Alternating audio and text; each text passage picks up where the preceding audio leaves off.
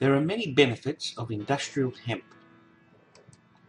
Industrial hemp can help stop pollution and climate change.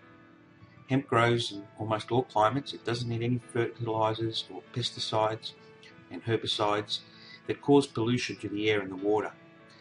50% of the world's pesticides goes on the world's cotton fields. So if we change to hemp, we'll save a lot of pollution from pesticides. Due to its fast growth, hemp may also be useful in carbon sequestration, absorbing carbon from the air and storing it back in the earth. The paper industry, which is today mostly uses wood pulp, has now become the third largest polluter.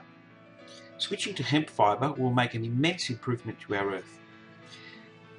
Hemp doesn't use much water to grow. Compared with other wood and cotton plantation, hemp requires much less water.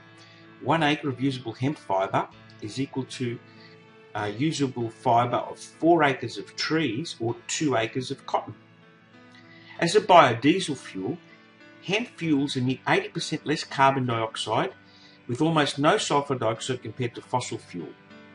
Hemp fuels do not destroy the ozone layer, generating less greenhouse gas, nor does it cause acid rain that contribute to global warming and climate change. In fact, Henry Ford built a car completely out of hemp. It was made out of hemp resin and it ran on hemp oil. Hemp fiber was used to make clothing and paper for thousands of years. The Bible was printed on hemp. So was the Declaration of Independence. Help stop misinformation about cannabis. Hemp products can save the planet. Medical marijuana has many health benefits, and it's a natural um, substance which has got receptors in the body. Click the link below to show your support. Can we save our planet? Yes, we can.